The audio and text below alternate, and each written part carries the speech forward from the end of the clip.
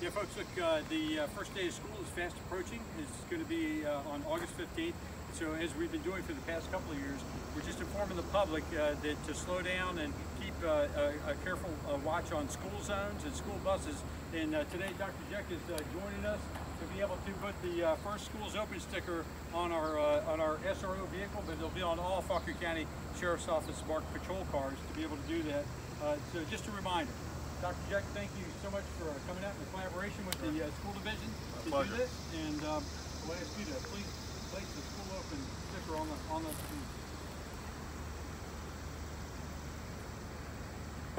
All right, so we're all set.